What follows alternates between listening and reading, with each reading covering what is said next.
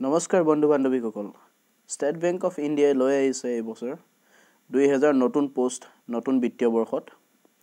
আজি দুই এপ্ৰিল তাৰিখে ৰিলিজ কৰিছে দুই হেজাৰ পোষ্টৰ যিটো নতুন নটিফিকেশ্যন তো এই পোষ্টসমূহৰ বিষয়ে এই জবটোৰ বিষয়ে আমি ভালদৰে জানিম।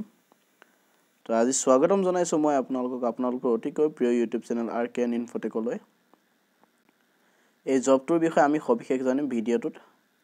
তো আহকচোন আজিৰ ভিডিঅ'টো আৰম্ভ কৰোঁ। ভিডিঅ'টো আৰম্ভ কৰাৰ আগতে সকলোকে অনুৰোধ জনাওঁ যে সকলোৱে মোৰ চেনেলটো প্লিজ ছাবস্ক্ৰাইব কৰিব আৰু কাষত থকা বেল আইকনটো দবাই দিব। লগতে ভিডিঅ'বিলাক লাইক কৰিব শ্বেয়াৰ কৰিব আৰু কমেণ্ট কৰি জনাব কেনেকুৱা পালে আৰু ভিডিঅ'টো আপোনালোকৰ ফেমিলি গ্ৰুপ ফ্ৰেণ্ড ফেচবুক সকলোতে যাতে শ্বেয়াৰ কৰে।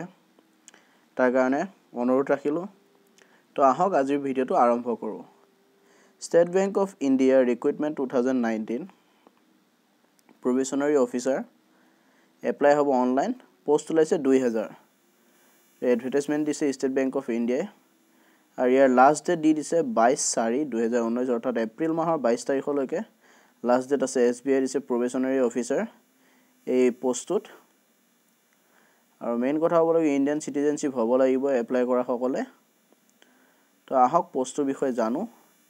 Name of the post probationary officer post ওলাইছে পষ্ট ওলাইছে।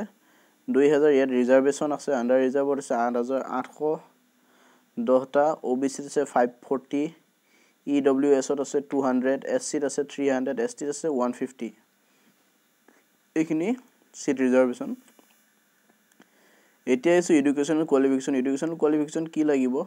গ্ৰেজুৱেট হ'ব লাগিব যিকোনো এখন ৰেকগনাইজ বৰ্ড বা ইউনিভাৰ্চিটিৰ পৰা। ইকুইভেলেণ্ট চাৰ্টিফিকেট হ'ব লাগিব। চেণ্ট্ৰেল গভমেণ্টৰ পৰা। ইকুইভেলেণ্ট কোৱালিফিকেশ্যন থাকিব লাগিব। তাৰপিছতে আপোনালোকৰ যদি কোনোবা ধৰক ষ্টুডেণ্ট আছে বি এ ডিগ্ৰী ছিক্স এমত পঢ়ি আছে তেওঁলোকৰ ডিগ্ৰী কমপ্লিট হ'ব।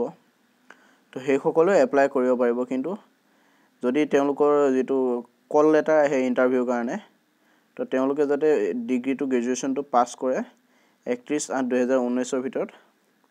অৰ্থাৎ আগষ্ট মাহৰ একত্ৰিছ তাৰিখৰ ভিতৰত যদি গ্ৰেজুৱেশ্যন পাছ কৰে তেতিয়াহে তেওঁলোকে এটেণ্ড কৰিব পাৰিব। তো এইটো আছিল এডুকেশ্যন কোৱালিফিকেশ্যন তাৰ লগতে দি দিছে কেণ্ডিডেটসকলে integrated dual degree I D D pass কৰা হ'ব লাগিব একত্ৰিছ আঠ দুহেজাৰ ঊনৈছৰ ভিতৰত। এইখিনি আছিলে এডুকেশ্যনেল কোৱালিফিকেশ্যন তাৰপিছতে বয়সটোলৈ আহিছোঁ এতিয়া আমি। বয়সটো দিছে কি একৈছ বছৰৰ পৰা ত্ৰিছ বছৰৰ ভিতৰত হ'ব লাগিব। আৰু এইটো হ'ব এক এপ্ৰিল দুহেজাৰ ঊনৈছ তাৰিখৰ ভিতৰত একৈছ বছৰ হ'ব লাগিব আৰু ত্ৰিছ বছৰতকৈ বেছি হ'ব নোৱাৰিব। জন্ম হ'ব লাগিব এক চাৰি ঊনৈছশ আঠানব্বৈৰ আঠানব্বৈতকৈ পিছত হ'লে নহ'ব। আৰু দুই চাৰি ঊনৈছশ ঊনানব্বৈ অৰ্থাৎ নাইনটিন এইট্টি নাইনৰ আগত হ'লেও নহ'ব। এইখিনিৰ ভিতৰত জন্ম হ'ব লাগিব। আৰু যিটো গভমেণ্টৰ এজ ৰিলেক্সেশ্যন আছে গভমেণ্টৰ মতে কোনে কিমান বছৰ এজৰ ৰিলেক্সেশ্যন পায় সেইমতে হ'ব। সেইখিনি আপোনালোকে জানিব। তাৰপিছত আহিছে এপ্লিকেশ্যন ফিজটো লগতে চাৰ্জেছটো কিমান হ'ব? Application fee general E W S আৰু অ' বি চিৰ কাৰণে হ'ব seven fifty S C S T P W ডিৰ বাবে হ'ব ওৱান টুৱেণ্টি ফাইভ আৰু ইয়াৰ পে'মেণ্ট মোডটো হ'ব অনলাইনত কৰিব লাগিব আপোনালোকে ডেবিট কাৰ্ড ক্ৰেডিট কাৰ্ড বা কাৰ্ড বা ইণ্টাৰনেট বেংকিঙৰ সহায়েৰে। এপ্লাই কৰিব লাগিব কেনেকৈ এপ্লাই কৰিব পাৰিব আপোনালোকে? অনলাইন এপ্লাই কৰিব লাগিব আৰু এইটো দুই এপ্ৰিলৰ পৰা আৰম্ভ কৰি বাইছ এপ্ৰিললৈকে হ'ব টুৱেণ্টি টু এপ্ৰিললৈকে। অনলাইন এপ্লিকেশ্যনটো একচেপ্ট কৰা হ'ব। আৰু অনলাইন এপ্লিকেশ্যন কৰিব লাগিব আপোনালোকে। ইয়াত অফিচিয়েল ৱেবছাইটটো দি দিছে। যিটো বেংকিং ৱেবছাইট এছ বি আইৰ সেইটো। ইয়াত মই আপোনালোকক ভিডিঅ'ৰ ডেছক্ৰিপশ্যনত লিংকটো দি দিম অফিচিয়েল ৱেবছাইটটো আপোনালোকে ধুনীয়াকৈ চাই ল'ব পাৰিব। ইয়াতে ইম্পৰ্টেণ্ট ডেটছবিলাক দি দিছে তলত। যিটো অনলাইন এপ্লিকেশ্যন আৰম্ভ হ'ব দুই চাৰি দুহেজাৰ ঊনৈছ এপ্ৰিলৰ। দুই তাৰিখৰ পৰা লাষ্ট ডেট আছে বাইছ টুৱেণ্টি টু এপ্ৰিলত।